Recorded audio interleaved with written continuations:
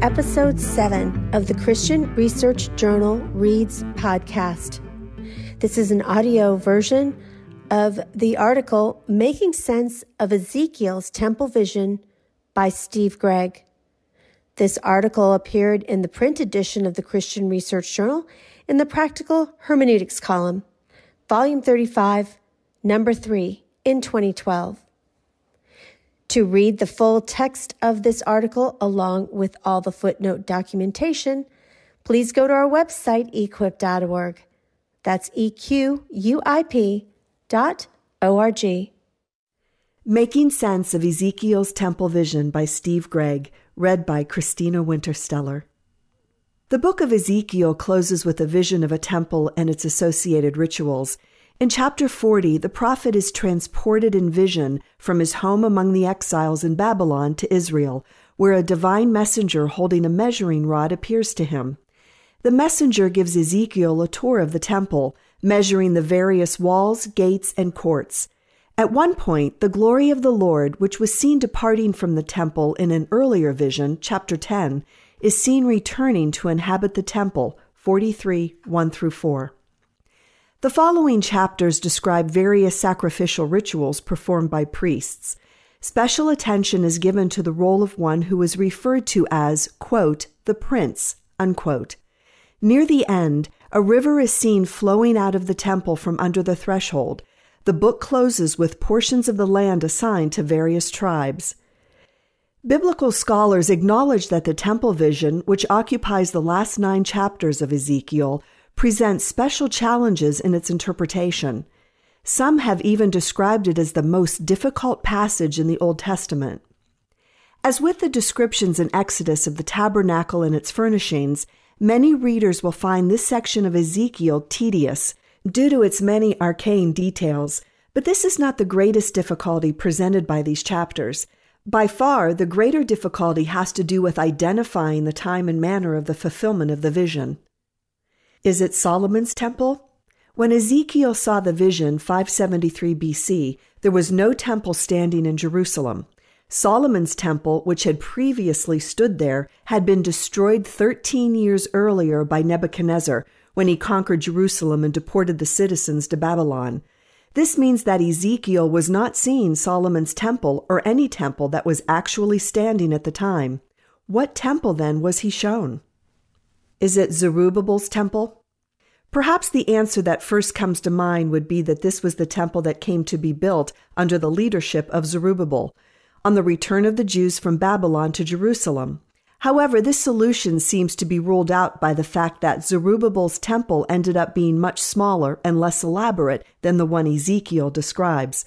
If Ezekiel was prophesying that the temple built by the returning exiles would fit this description, the prophecy failed to come true. This option does not commend itself to those who accept the inspiration of Scripture. Other interpretations, therefore, have been offered by evangelical scholars. Is it the church? Some Christian commentators have understood the content of these chapters as an apocalyptic vision, which is best interpreted spiritually. They point out that the church in the New Testament is often referred to as God's, quote, temple, unquote, or habitation.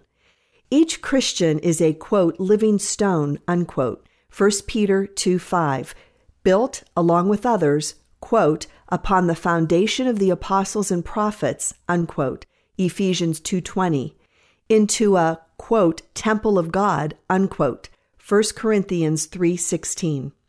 On this view, the features of temple worship, priests, altars, sacrifices, blood rituals, would be seen as pertaining to spiritual, rather than literal realities and applied to our worship of God in the present time. In particular, the description of the river in chapter 47 would seem to support a non literal interpretation. If this is the correct view, we would be required either to see many of the tedious details as being either superfluous or as corresponding to spiritual ideas that would be very difficult to identify with confidence. Is it the millennial temple? Another view of this vision, commonly held among dispensationalists, is that Ezekiel's temple will be established after the second coming of Christ and will serve as the worship center for all the people during the quote, millennium. Unquote. On this view, the one described as, quote, the prince, unquote, is often identified as Christ himself, ruling over the millennial kingdom. Choosing a hermeneutical strategy. In choosing among these options, we are compelled to decide between differing hermeneutical priorities. One of the chief hermeneutical principles recommended by dispensationalist scholars is that of maintaining a consistently literal interpretation. This would mean that, quote, spiritualizing, unquote, the text must be seen as a departure from the most faithful handling of Scripture. Therefore, dispensationalists argue for a literal, physical building to be established in fulfillment of Ezekiel's vision. Since the temple erected after Ezekiel's time did not fit Ezekiel's description, they believe that there must be another temple in the future that would do so more admirably. It would be easier to accept this theory if we did not have the New Testament to guide our thinking. The most obvious problem presented here is that the book of Hebrews, example 10, 1 through 18, speaks of the death of Christ on the cross as a termination of the efficacy of bloody animal sacrifices, such as those Israel offered in the temple. If Ezekiel's vision applies to a future time, why do we again find the offering of animal sacrifices? The dispensationalist answer is that the millennial sacrifices will not be intended to atone for sins. The blood of Christ precludes any need for that. Just as the Old Testament sacrifices anticipated the death of Christ as a future event, it is suggested the future millennial sacrifices will commemorate the death of Christ as a past event. The text of Ezekiel, however, seems to preclude this since the various offerings in the temple are said to, quote, make atonement for the house of Israel, unquote, 45:17. Thus the sacrifices are presented as an atonement for sin, not as a memorial.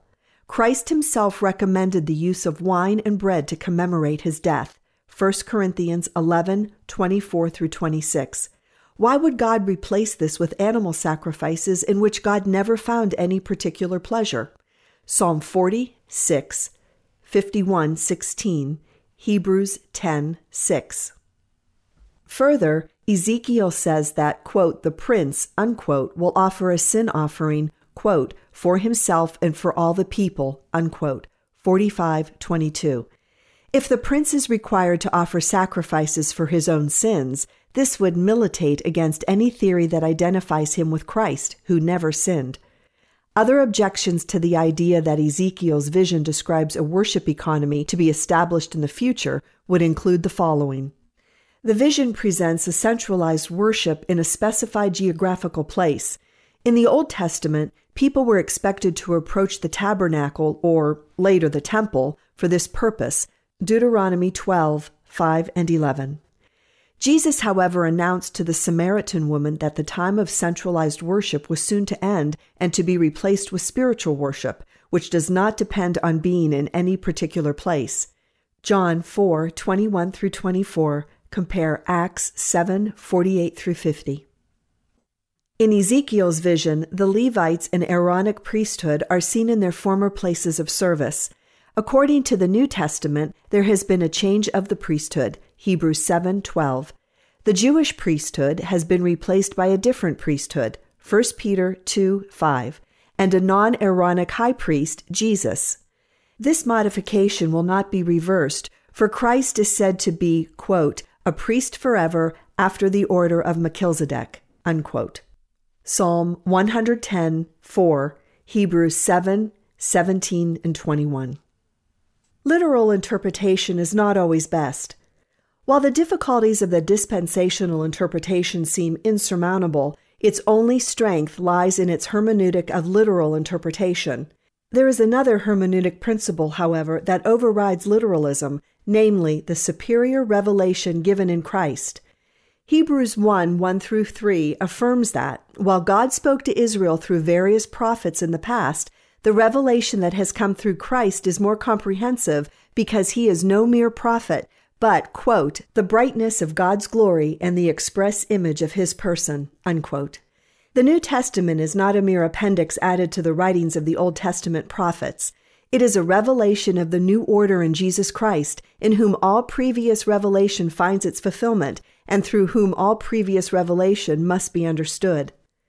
Christ opened the understanding of his disciples so that they, quote, might understand the Old Testament scriptures, unquote.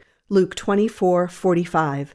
This being the case, it would be foolish for us to seek a meaning of the prophets contrary to that which Christ and the apostles taught. It is their witness that provides the strongest objections to any literalistic interpretation of Ezekiel 40 through 48. In Christ's new order, which unlike the old order is permanent, the temple, priesthood, and sacrifices are likewise spiritual. 1 Peter 2 5. Making sense of the vision. How then are we to understand the temple vision? First, one might reasonably refer to the vision as that which, quote, might have been, unquote, had the Jewish exiles in Babylon exhibited a more thorough repentance than they did. There is an indication that the realization of this vision in Israel's future was contingent on the people being sufficiently ashamed or repentant of their past sins. Quote, Son of man, describe the temple to the house of Israel that they may be ashamed of their iniquities, and let them measure the pattern. And if they are ashamed of all that they have done, make known to them the design of the temple. Unquote. Ezekiel 43 10 through 11. The response of the Jews to their opportunity to return and to rebuild their temple was notoriously tepid. Only a small remnant opted even to return to Jerusalem, while the rest were content to remain in Babylon, as a result, the temple they built proved to be inferior to the one that Ezekiel described.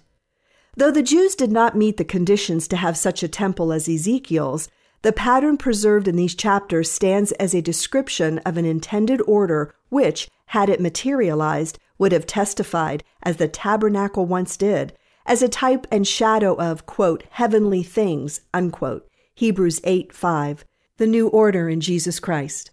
This, we may assume, was the long term purpose served by the vision. Though some features of the vision were probably intended symbolically from the start, example, the seemingly miraculous, ever deepening river, it is probable that the temple and its rituals would have been literally instituted, as here described, had Israel met God's conditions. Whether or not the temple had ever actually been rebuilt, the new revelation in Christ encourages us to see its pattern as having been fulfilled in Jesus Christ himself, who is the final atoning sacrifice and the eternal high priest of God's people. Thank you for listening to the Christian Research Journal Reads podcast. You won't want to miss out on the other podcasts from the Christian Research Institute. Please subscribe to the Hank Unplugged podcast, where CRI president and host of the Bible Answer Man broadcast, Hank Hanegraaff, takes you out of the studio and into his study to engage in free flowing, essential Christian conversations on critical issues with some of the most interesting, informative, and inspirational people on the planet. On the Bible Answer Man broadcast, Hank Hanegraaff answers questions from listeners every weekday, and you can catch a Best of the Bible Answer Man on Saturdays. In addition, you won't want to miss out on all new articles and author conversations and interviews on the Postmodern Realities podcast, which features new articles from the Christian Research Journal and conversation with those articles' authors. So please explore our website at equip.org. And thank you for connecting to the Christian Research Institute.